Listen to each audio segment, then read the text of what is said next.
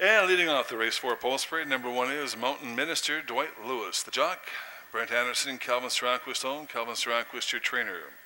Number two, Martin Ortiz up on Guns Ablazing. Rogie Stable owns. Ron Scott is the trainer. Number three, Northern Rascal, ridden by Juan Gonzalez. Len Hambley owns. John Poirier trains.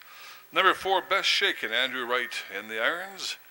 RLC Racing owns. Bob Gwillem trains. And number five, Staffan's Vision, written by Trevor Simpson, Jermaine Wells, and Veronica Oka-Wells own. Norrin Calfrobe trains.